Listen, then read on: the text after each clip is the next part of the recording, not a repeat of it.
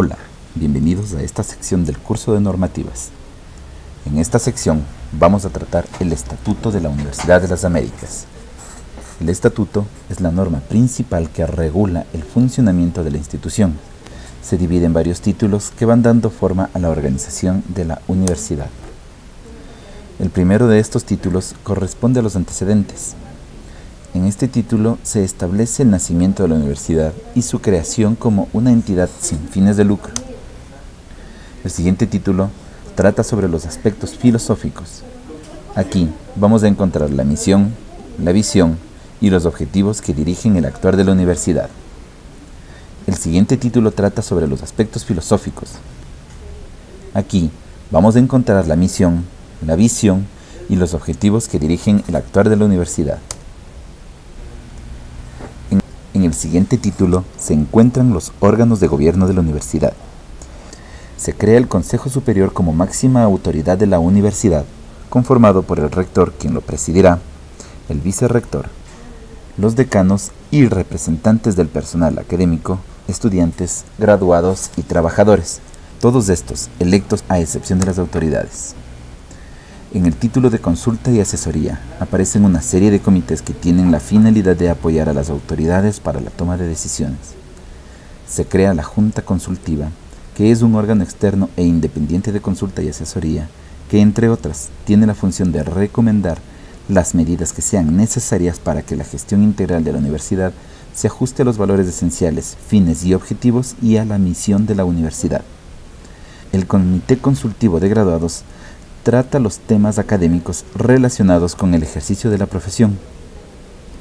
La Comisión de Evaluación Institucional se encarga del diseño, coordinación y supervisión de los procesos de evaluación institucional. La Comisión de Vinculación con la Colectividad está a cargo del diseño, coordinación y supervisión de planes, programas y proyectos orientados a la sociedad.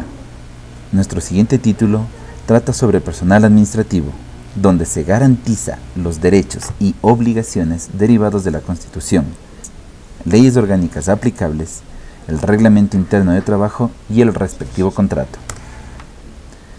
En cuanto al régimen académico, el Estatuto de la Universidad define a las facultades como la unidad académica fundamental y establece que el decano será la autoridad académica de la facultad.